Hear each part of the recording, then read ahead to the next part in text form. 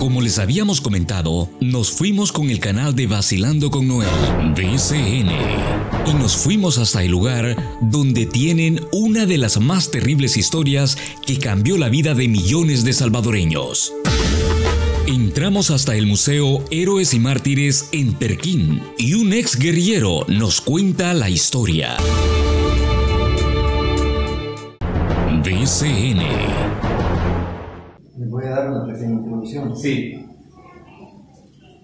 Mi nombre es Catalino Gómez Pergueta, mi seudónimo en la guerra por altura. Estuve en el ERP, una de las cinco organizaciones que a partir del 10 de octubre de 1980 constituyó el FMLN, porque fueron cinco organizaciones, ERP, FPL, RN, PRTC y FAL.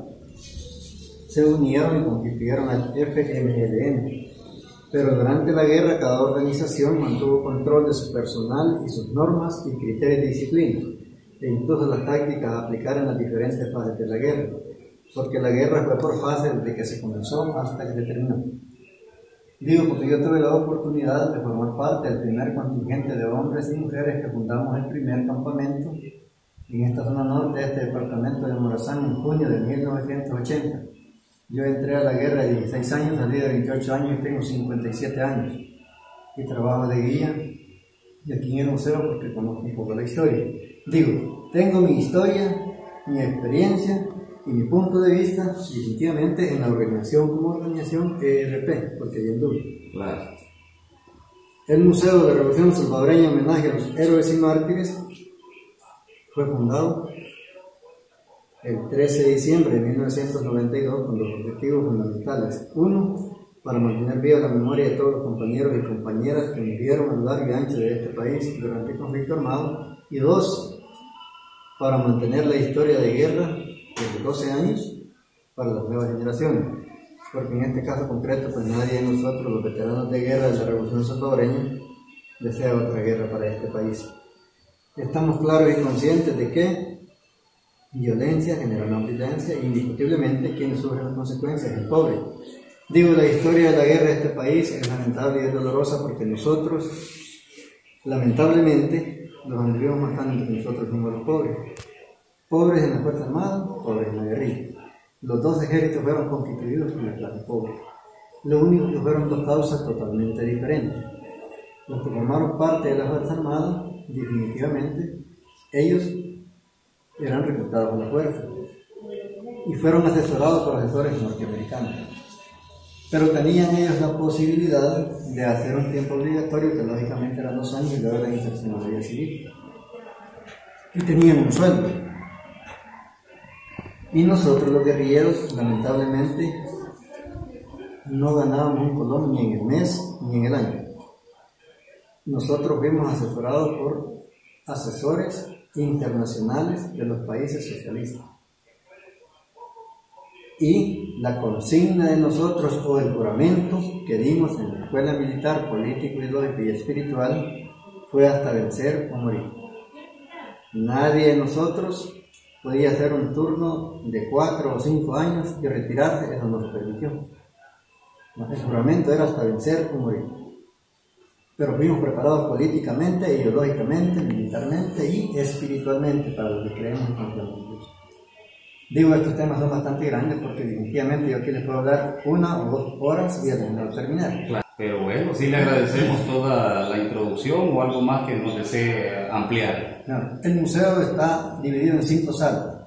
La primera sala, causas que originaron la guerra, que fue el sistema de explotación, la represión y la injusticia social. Pero fue la represión que nos montó la Fuerza Armada a nosotros que nos obligó a abandonar el núcleo familiar e integrarlos a una vida cuartelaria y dar inicio a un enfrentamiento armado a partir de junio de 1980. En aquel entonces nos dijeron los responsables a nosotros que lo más que iba a durar la guerra en este país iba a ser de 15 a 22 días, y más de 15 años. La guerra se produjo definitivamente. Ahora bien, digo, si nosotros hacemos una pequeña reflexión de lo que fue la guerra, si lo vemos a larga distancia, estamos altamente convencidos que quienes hacen el mejor negocio son las potencias. Las guerras son negocios y siguen siendo negocios en el mundo, definitivamente. Así es. Porque ellos venden el armamento, pertrechos de guerra y mandan instructores a preparar a los pobres y ponerlos a pelear. A nosotros aquí hacemos. Y al llegar a la conclusión de la guerra, quienes lograron y están logrando los frutos de la guerra fueron los altos mandos de los dos bandos. Porque aquí definitivamente los que tanto hablaron del sistema de explotación y de justicia social fueron los más explotadores y los más injustos.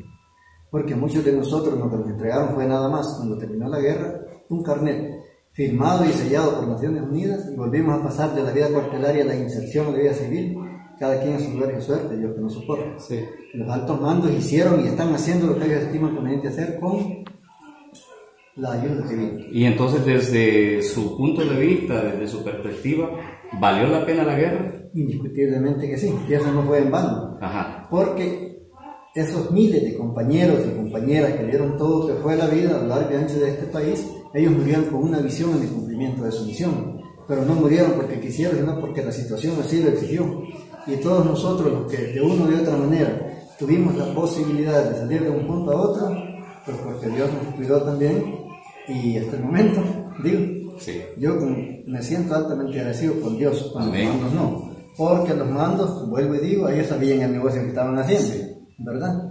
Y por eso, em, digo, las guerras son negocios y siguen siendo negocios en el mundo. Exacto. ¿Sí? Entonces ahora estamos en el primer, la, primera sala. La primera sala. La segunda sala es la sala de la solidaridad de los países que nos dieron el apoyo durante el conflicto armado. La tercera sala vive en los campamentos. Eso refleja el régimen de vida que nosotros vivíamos en los campamentos durante la guerra. En la cuarta sala, armas convencionales y acuerdos de paz. Ahí hay diferentes tipos de armas. Sí. Y están las banderitas ahí donde representan cada país que nos ayudó durante el conflicto armado y los que estuvieron presentes en el firme acuerdo de paz. Y la quinta sala está el sistema de radio Venceremos. Afuera en el corredor están tres piezas de mortero, 220 milímetros que eran propiedad de la Fuerza Armada. A través del combate fueron decomisadas y posteriormente las de nosotros. También están los restos de tres helicópteros UH-1H fueron derribadas en diferentes puntos durante el conflicto armado. Están dos vehículos también que son parte del museo de 1982. El gobierno de Francia y el de México reconocieron al FMLN como una fuerza beligerante y donaron los dos vehículos al comandante general. Uno fue utilizado por Joaquín Villalobos, que fue el máximo dirigente del ERP y de la Revolución Salvadoreña.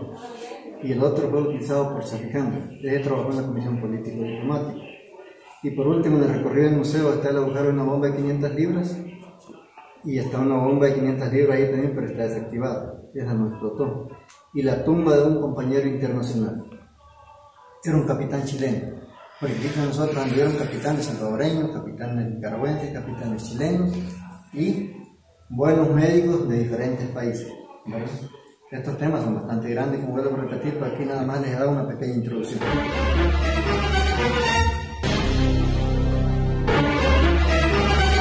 Gracias por visitar nuestro canal Vacilando con Noel y activen la campanita para alertas de más videos.